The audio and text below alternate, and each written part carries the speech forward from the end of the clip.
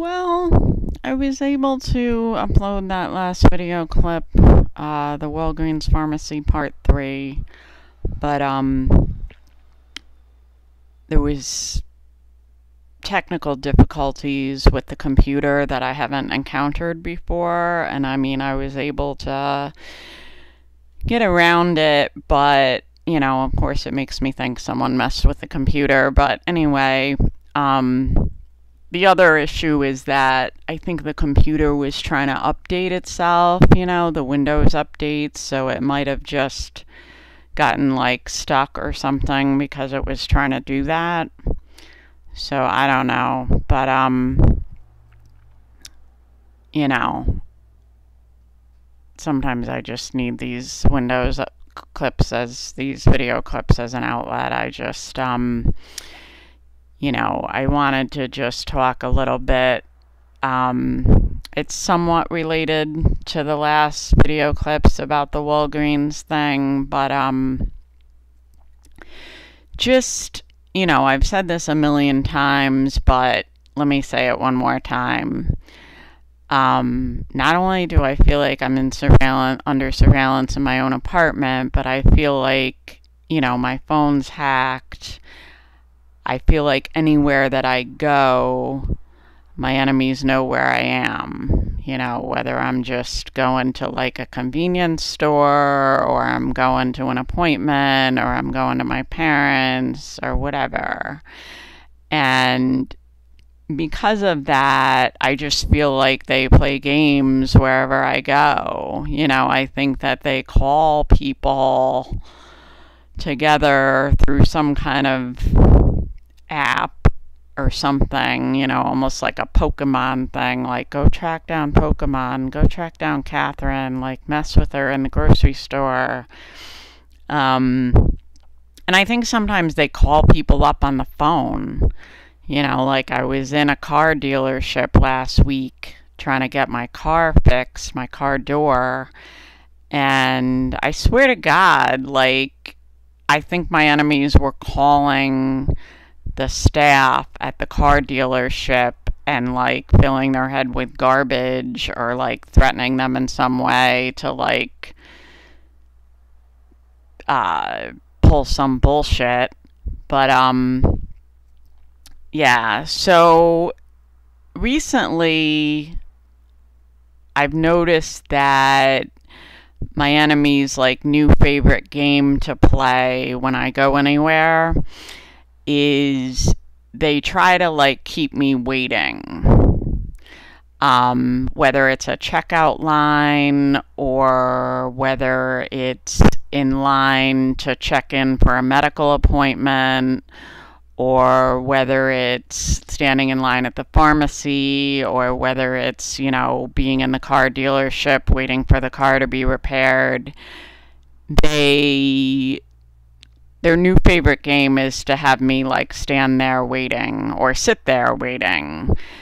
And I'm saying this because it's happened like a bunch of times now, like everywhere I go.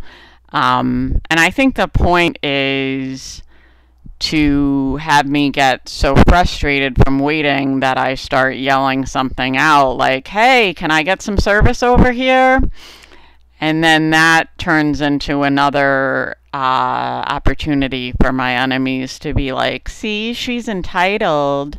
She's a brat. She thinks she's like entitled to have people like wait on her. Like, I don't know. I thought that's what customer service was. I thought that's what customer service was. Like, you see someone at the register and they're like looking down or they're looking to the side, they're looking everywhere but at you, pretending they don't know you're there, but really they know you're there. Like it would be impossible for them to not know you're there.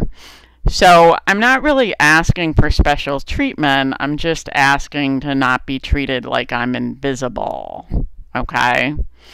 Um so yeah, like, you know, yeah, it's everywhere. Medical appointments, Stewart's, Cumberland Farms, uh, the car dealership. It's like everywhere. Like I just stand there and I see the person up at the desk, but they're like staring at their computer or they're on the phone or they're like looking off in some other direction, pretending not to see me.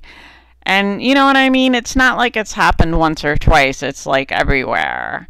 And the same thing with like calling somewhere, like they'll put me on hold for like a really long time. And like, I just think it's all like a fucking another game by my enemies trying to fucking annoy me. And it is annoying because it's like I'm not invisible, I'm not asking for special treatment, I'm just asking for like basic service that anyone would want. Um, you know, and sometimes I think to myself, well, maybe with the pandemic and the labor shortages, maybe employees in general are just feeling like they're not going to lose their job or get written up over bad customer service because employers are dealing with a labor shortage. You know, maybe they're all just feeling like we don't have to do customer service anymore. Who are they going to replace us with? And I hope all those people lose their fucking jobs. I hope something happens where they just all fucking lose their jobs for their shitty attitude. So, yeah, I just wanted to mention that. It's like, you know, just trying to get a basic need met. I'm not asking for special treatment. I'm just asking you to not treat me like invi- like I'm invisible. You know, sometimes I could be standing in line and there's like multiple people behind the counter like multiple people and it's like you know one of them will be staring at a computer screen and one will be on the phone and one will just be like looking off into the distance and it's like it's it's to the point where it's like ridiculous. Um so yeah i don't know. I might just start being like can anyone see me I didn't put on my invisibility cape today. It's like, you want me to fucking act mentally ill? I'll act mentally ill. You know, it won't be like me cursing or yelling or anything like that. I'll just say weird things. I'll just be like, Am I invisible? I thought I left my invisibility cloak at home today. Um, you know, everything's just meant to like frustrate and just be like, oh, I can't get a basic need met. You know? Like when I went to the car dealership last week, like I was so grateful that they were able to fix the latch on my door that I haven't bitched about any of the other shit that went on when I was there. You know, I'm just so grateful that I only had to shell out $150. Um, I'm grateful it wasn't worse, you know? But just as an example, when I was there, like, first I went there. I went there on a Monday. I had gone to the grocery store and I was having issues with the door. So I saw this Ford dealership like across from the grocery store.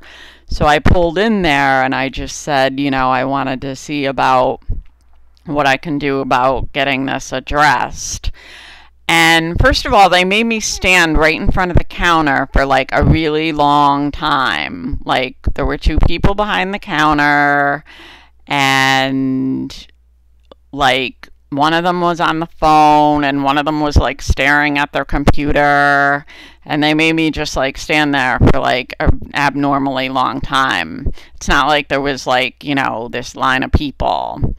So then finally, like, I got up to the counter and I said, you know, what can I do to get this looked at? And he was like, okay. First, he tried me to get to go, get me to go to another dealership, and I was like, it's too far. Given the fact that the door isn't closing securely, I can't like get on the highway, you know. So he was like, okay, come first thing tomorrow morning. Dealership opens at 8 a.m. So I was like, okay, you know you know, I think that he thought, oh, you know, she's not going to come that early because, you know, she's some kind of lazy bum bitch on disability. You know, those people on disability, they don't like to get up early. But no, I got up, I went there, I was there at 8 a.m. So they were like, okay, you know, we'll look at it. The waiting room's the other room. So I went in the waiting room and I was prepared to wait a long time. I'm like, shit, I might be here all day.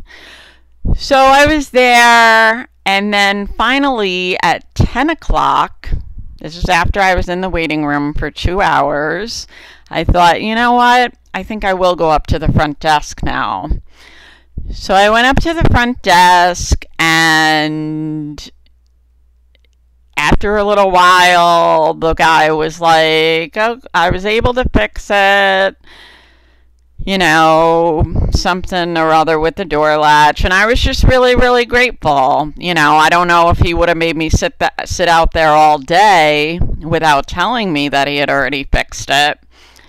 But he was like, yeah, they're just finishing up the oil change. So I'm like, okay. So I went back in the waiting room and then, like 40 or 45 more minutes passed. You know, he said, Oh, they're just finishing up. I mean, I've been to like a bunch of instant oil change places, and it doesn't take that long. So I thought I'm going to go back up to the counter. So I went back in the other room. I went to the counter, and again, like I'm just like standing there, like people are, you know, staring at computer screens or staring off in the distance or whatever. And then finally, this woman finally was like, Oh, I'm just writing down some recommended, you know, like future repairs for you. I was like, okay. So then I just stood there because I thought if I go back in the waiting room again, they might leave me there for like another hour or so. So I'm like, I'm just going to stand here. Like, I didn't stand there and stare at them. I kind of like turned around and looked at the wall. I don't know, looked at whatever was behind me on the wall. And then finally, you know, the woman like allowed me to come up to the little window, the counter, and she was like, you know, so I've written down, you know, these different things that you should think about getting done, you know, in the future. She's like, you really need four new tires and you should get the air filters replaced and the windshield wiper blades replaced. And she's like, I wrote out, you know, these different costs of different kinds of tires. You know, keep in mind, meanwhile, she hasn't told me how much I owe today for the door latch and the oil change. She's just like going on about these future repairs. And then, like, she's showing me this stapled together sheets of paper and at first glance, it looked like they were going to charge me $700 for like the door latch. But then she was like, no, no, this is the, you know, just the list of recommended repairs. And I was like, well, how much do I owe today? And then finally, she takes out this other sheet of paper and like finally reveals to me that it's like $150 and i was just so fucking relieved to hear that that i was like i'm just going to let all this other bullshit go. So you know finally i was allowed to pay and i left.